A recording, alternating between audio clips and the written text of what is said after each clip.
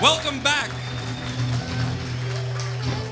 We are here live at the Capitol Theater in Arlington, Massachusetts. Tonight, we are raising money for Autism Speaks.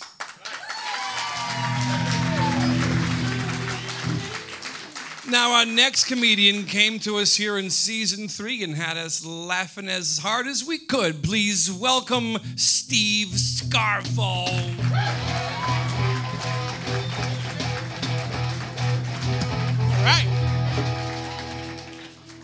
Guys doing?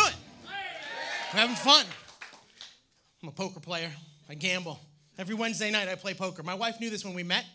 She knew when we got engaged. She knew we got married. I play poker on Wednesday nights. Wednesday night's poker night. What's Wednesday night? Absolutely. Last Wednesday night, I'm at a pottery class. Yeah, because here's the thing about you women you're evil. No, get mad at me, ladies. Not like psycho killer evil, but like evil genius evil. Because you know our weaknesses and you know how to exploit them. For instance, you ladies know that we can't hear you for more than 15 minutes at a time. And it's not our fault. Because from the beginning of time, ladies, men were built for one purpose. We were there to be the first responders. We were there to be the defenders of the cave. And if there's a problem, we're like, ha! And if not, screw it, we take a nap. That's how it works. And you ladies know this. And you don't get mad, you just wait for that 15th minute to pass because you know at 14:59 we're with you, we love you. And at 15 we go into a trance. Oh yeah, baby, that's awesome. And it's like, oh, la, la. and that's when you slide stuff into conversations. And how I end up at pottery class on freaking poker night. 16 minutes, she gets me every time. I'm Italian.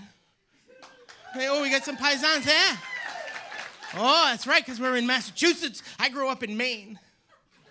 That makes me a little disturbed. I always want to be one of the cool guys from Brooklyn with that accent going like, hey, how you doing? nah, man, I ain't giving you no friggin' directions, okay? Look at the size of that freaking moose. But I grew up in Maine. What did I get? Yeah. How you doing? No, we can't get that from here.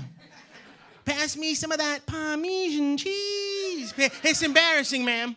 What am I gonna do for a, a mom? Am I gonna put a moose head in someone's bed? It don't work. I tried it. It's useless. We don't have any kids. My mother's pissed at me. I don't know if I want kids. I love kids. I have nieces and nephews. They're awesome, but I don't know if I can take care of kids because there's a whole process I don't understand. You ladies know what I'm talking about, right? There's a process, right? There's nine months, there's a night of fun. Nine months later, there's a process. You know what I'm saying? I'd like to think I know something about the night of fun. She said no. But I know nothing about the process. So I asked a friend of mine. Now, she's four days past her due date. Ladies, if you've had children, I apologize. I said women are evil, men are stupid, dumbest in the room right here. I was at her house and she was rightfully upset this little guy had not come out. So after five or ten minutes of her walking around going like, "Oh my God, Jesus, he won't! Holy crap, Jesus!" and I snapped like an idiot. Have you guys ever sung something and you just said it, and the minute, the minute it came out of your mouth, you're like, "Oh crap, crap, crap, crap, crap," and you try to get it back, and you try, but you know it's gone, and it's out there, and you're like, "I'm screwed." And I snapped, and after five, she's like, "Oh my God!" I'm like, "Freaking relax! It's only been four days." Right, I know. I'm sorry, I didn't mean it. And when I got off the ground 20 minutes later, I apologized. She kicked me in the nuts, sir. That's what happened. So I said, go to the hospital. They'll induce labor for you, won't they? But they won't, not right away. They make you ladies wait at least a couple weeks. It's better for you and the baby if it's natural. But they gave her some tricks and tips that she could try to do to induce her own labor. Try a little home remedies things. If you guys haven't heard this list, they gave her a whole list of freaky stuff to try. And I'm going to share with you folks the top three freakiest things they told her in order of reverse freakitude. it's a fun word. You'll use that one later. The number three thing to induce our own labor take a ride on a bumpy road. Yeah, I see people shaking their heads. Why? This is the stupidest thing I've ever heard. This is the entire theory. It's like getting the ketchup out of the bottle. Right? This is what it looks like. That's just stupid. The number two thing to induce our own labor eat spicy food. Why? Everybody's shaking their head. Why? What's it do? Burn a baby's ass and chase him out? I don't know, people. That's what happens when I eat spicy food. What the hell? And the number one thing to induce our own labor is what? Yell it out, you know it. Sex. Ah, I don't friggin' think so. I couldn't do it. People would freak me out. Now, ladies, don't get mad. It would have nothing to do with how she looks. Because when my wife is pregnant with my child, she'll be the most beautiful woman on the planet. I'll say that right now. But with my luck, her water's gonna break while we're having sex. I think she's having the orgasm of a lifetime. This is not a pace I can keep up. That sets a really high standard for future performance, if you know what I'm saying. And guys, have you ever done something right but didn't know it was right till right after you finished and you went, crap, what'd I do? That would be me next time around. I'd be like, I don't know, last time it was easy. It was once, twice, and hello. And a kid came out on a surfboard. What the hell was that?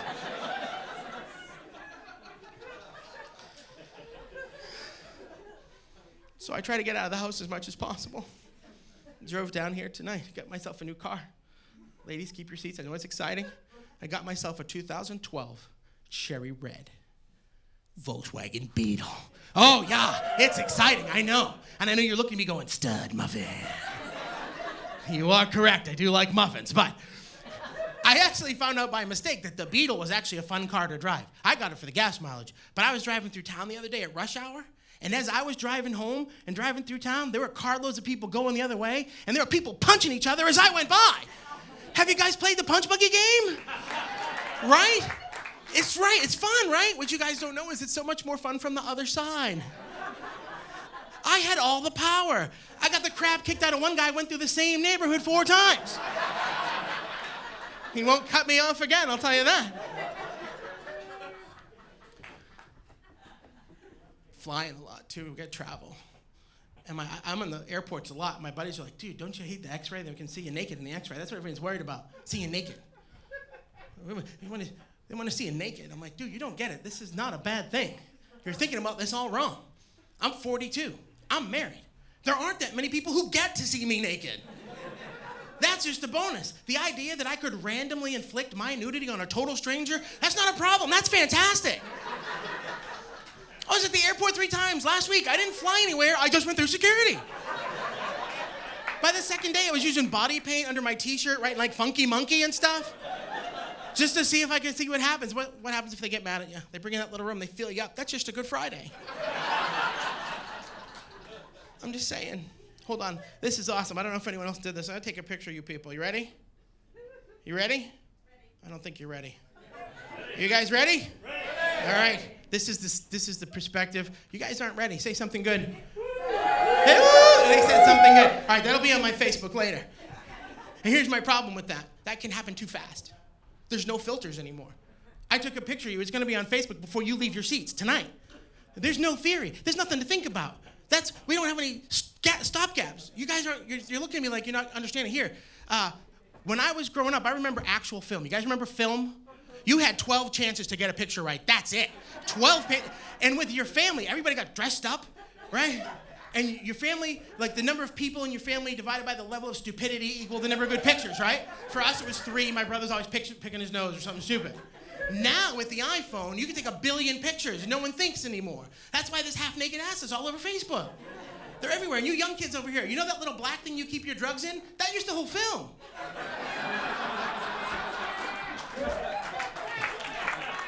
Just saying, there's a whole different theory.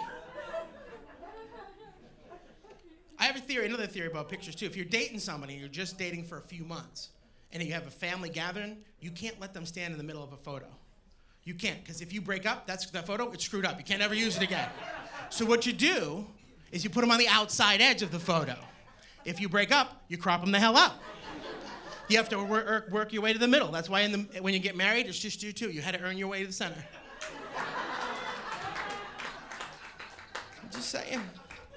And I use my iPhone all the time. I use it too much. I like, uh, like when I'm in the bathroom and I got time to kill.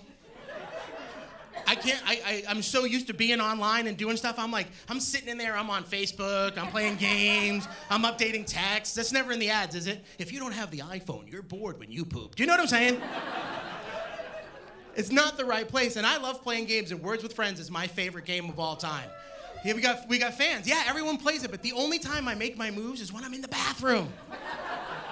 oh my God, you can laugh now, but if the people I played ever checked the times and dates of my moves, they'd have a perfect accounting of my regularity, right? and I know it sounds strange, but uh, I had a stomach ache last week, and I went to the doctor, and the first thing he asked me, well, when's the worst time you when's the last time you went? And I, and I couldn't remember. Then went, oh crap, words with friends. I pulled it out. It was last Tuesday. 3:27 p.m. The word was grunt. It was 36 points. It was a triple word score. It comes in handy. I will say this, we're talking about kids before. If I have kids, I'm gonna, I'm gonna give them the right name for their private parts. Ladies and gentlemen, if you have little children, don't do what my parents did to me. The words are penis and vagina. I don't know if I can say that, but those are the biological terms. That's what we're supposed to say. Don't tell them the stupid names, because growing up, they told me mine was a ding ding. it's not funny, that's crap. You know what else is crap? They didn't tell me until I was 19 that it was wrong. That's not right. Nobody talks like that. I asked a friend of mine. I had to find out where they told her hers was a hoo hoo.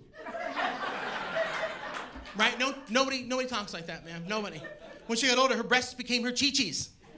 Like we're having chips and salsa or something. I don't know. That's what they told her. No one talks like that. What if my doctor talked like that? What if I walk in the office and my doctor looks me right in my eyes and said, I'm sorry, Steve, you seem to have an infection in your ding ding. Apparently, you've had it in too many hoo hoos. Um, you want to cut that out, man? Just play with the chi chis a little bit? How about that, huh? Hey, unless you're batting for the other team, then you stay away from the poo poop. It's all we're asking. Hey, I've been Steve Scarfo. You guys have been a lot of fun. Thanks a lot. Woohoo! Bring Stevie back. Steve Scarfo, everybody. Now, Steve, we want to ask you if people want to find you online, buddy, where do they go? Uh, you can check me out at uh, stevescarfo.com or I'm on Facebook, Facebook slash Steve Scarfo, or liveforyourdieLaughing.com, uh, or uh, just look for my half naked ass on Facebook, apparently. All right. Well, ladies and gentlemen, stay right here. This is Steve Scarfo. We'll be right back with more right after this. How about it, everybody?